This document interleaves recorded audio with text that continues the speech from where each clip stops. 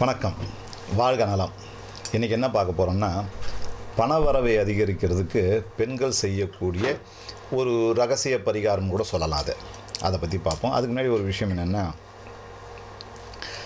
நம்ம பெண்கள்லாம் வாகனம் வண்டி ஓட்டும்போது அவங்களுடைய முந்தானை இழுத்து சொருவிக்குங்க சுடிதாராக இருந்தால் துப்பட்டாவை எடுத்து ஒரு பக்கமாக நல்லா கட்டிக்கிட்டு ஓட்டுங்க. இல்லைன்னா வீலில் மாட்டிக்குது அடுத்த வண்டியில் மாட்டி விபத்து ஏற்படுது. அதனால் நிறைய பிரச்சனைகளை பெண்கள் சந்திக்கிறாங்க. அதில் அவங்களுடைய புடவையாக இருந்தால் முந்தானி இழுத்து சொருவுங்க துப்பட்டா இருந்தால் இழுத்து கட்டிக்கிட்டு வண்டி ஓட்டுங்க அது சிறப்பாக இருக்கும். அப்படின்னு சொல்லிட்டு பெண்கள் செய்யக்கூடிய அதாவது பரிகாரம் பரிகாரத்தில் நமக்கு பண வரவு வேணும் இல்லையா?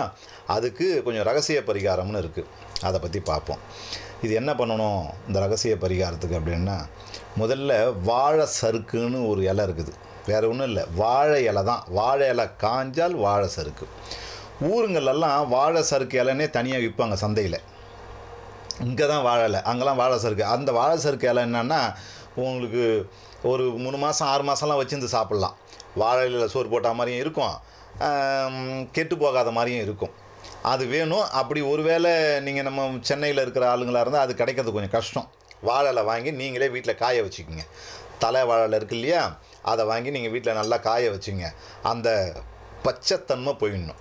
அந்த இலையிலேருந்து பச்சையாக இருக்கு இல்லையா? அந்த தன்மை போயிட்டீங்கன்னா அது வந்து ஒரு காப்பி கலர் மாதிரி வந்துடும் அது. அதான் இலை காஞ்சா எப்படி இருக்கும் அப்படி?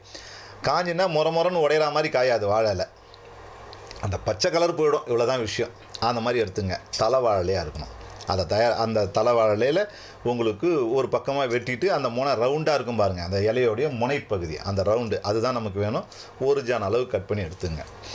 கண்டிப்பாக திரும்பவும் சொல்கிறேன் அது வந்து சர்க்கா அதாவது காஞ்சிருக்கணுங்கிறது ரொம்ப முக்கியம். பச்சை இலையில் செய்யக்கூடாது இந்த பரிகாரத்தை.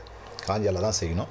இதை செய்யும் போது பெண்கள் தலைக்கு ஊற்றி அதாவது மாதவிலக்கெல்லாம் முடிஞ்சு கிட்டத்தட்ட எட்டு நாள் தாண்டி இருக்கணும் ஏன்னா கொஞ்சம் ரொம்ப விசேஷமான பரிகாரம் அப்படிங்கிறதுனால எட்டு நாள் தாண்டி இருக்கணும் இதை தயார் பண்ணி வச்சுக்கோங்க. இது ரெடி இப்போது வாழெல்லாம் நீங்கள் காய வச்சுட்டு இந்த மாதவில காலம் தான் பிரேக் விட்டுட்டு அப்புறமா இதை ஆரம்பிச்சிக்கலாம். ஆரம்பிக்கிறது தான் நம்ம கணக்கு. வாங்கி காய வைக்கிறதெல்லாம் உங்களுக்கு சௌரியப்படி செஞ்சுக்கிங்க. தயார் பண்ணிங்க. இதை ரெடி பண்ணிவிட்டு வீட்டில் நமக்கு வந்து ஒரு ரூபா காயின் ஒரு ஒம்பது காயின் எடுத்து வச்சுக்கிங்க. ஒம்பது காயின் இருக்கணும். அந்த ஒம்பது காயினோட சேர்த்து ஏலக்காய் இருக்கணும். கொஞ்சம் கிராம்பு ஏலக்காய்னா ஒரு ஒம்பது ஏலக்காய் கிராம்பு ஒரு ஒம்பது கிராம்பு வச்சுக்கிங்க. இது எல்லாத்தையும் எடுத்து அஹ், மடிச்சுக்கிங்க. ஒரு துணியில் காட்டன் துணியில் குறிப்பாக வெள்ளை கலர் துணியாக இருக்கணும். மஞ்சள் கலர் சகப்பு இதெல்லாம் இருக்கக்கூடாது. வெள்ளை கலர் துணியில் வச்சு நல்லா பொட்டலை மாதிரி கட்டிடுங்க. கவர் கவர்லாம் வச்சு கட்டிடாதீங்க. பொட்டலை மாதிரி கட்டிடுங்க. அத்தனையும் நல்லா கட்டி அதை தயார் செய்துட்டு இதை கொண்டு போயிட்டு நம்ம வீட்டில் நல்ல சுத்தமான புடவை அதாவது நல்ல பட்டு புடவை மாதிரி வச்சுருப்போம் இல்லையா? அதில் வச்சுக்கலாம். அல்லது நீங்கள் வந்து கிச்சனில் வைக்கலாம். இதை கிச்சன்லேயே வைக்க முடியும். வைக்கலாம்னா கடுகு டப்பா இருக்குது பாருங்கள் நம்ம வீட்டில் அந்த கடுகு டப்பாக்குள்ளே போட்டு வச்சுக்கலாம். அதுக்கு மேலே கடுகு போட்டு வச்சுக்கணும்.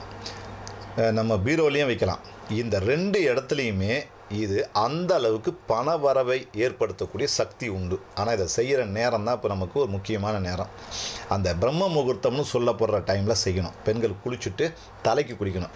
குளிச்சுட்டு இந்த இந்த பொருளெல்லாம் நீங்கள் முன்னாடியே தயார் பண்ணிக்கணும்.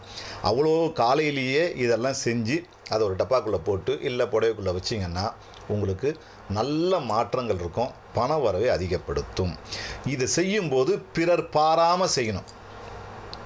அடுத்தவங்க இப்போ கூட ரெண்டு பேரை வச்சுக்கின்னு கூட ஹெல்ப்புக்கு வச்சுக்கின்னு செய்யக்கூடாது. இதை தனியாக தான் செய்யணும். தனியாக செய்யும்போது இது வந்து சிறப்புடையதாக இருக்கும். ஒருத்தர் மட்டுமே இதை எடுத்து செய்தால் ரொம்ப நல்லாயிருக்கும் பணவரவை அதிகப்படுத்தும். இது சில மாற்றத்தையும் உருவாக்கும் இது. இதை செய்து உங்களுடைய வாழ்க்கையில் வளம் பெற்று நலம் பெறுங்க. நன்றி வணக்கம் வாழ்க நலம். ஆன்மீக பரிகாரம் இந்த சேனலை லைக் பண்ணுங்கள் ஷேர் பண்ணுங்கள் மறக்காமல் சப்ஸ்கிரைப் பண்ணிக்கோங்க. அப்போ தான் இந்த சேனல் மூலமாக நாங்கள் கொடுக்குற பயனுள்ள தகவல்கள் உடனுக்குடனே உங்களை வந்து சேரும்.